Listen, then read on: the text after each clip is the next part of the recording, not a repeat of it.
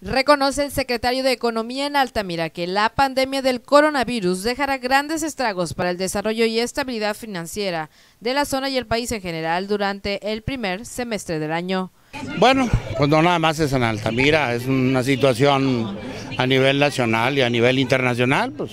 las bolsas del mundo cayéndose todos los días, el precio del,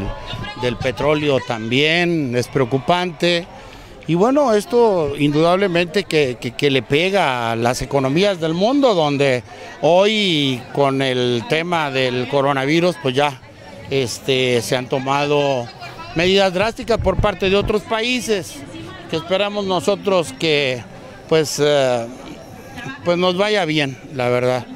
Pero en el tema económico sí les puedo comentar que todo esto ha traído como consecuencia una baja Gonzalo Alemán Migliolo detalló que frente a un panorama que recrudece cada vez más en materia sanitaria, los mercados nacionales e internacionales se enfilan a un estado de recesión que afecta la dinámica de proyectos y operaciones cotidianas en la zona, situación que podría prolongarse para los próximos seis meses como mínimo. En las imágenes Fidel Ramírez, Noticieros, Canal 26,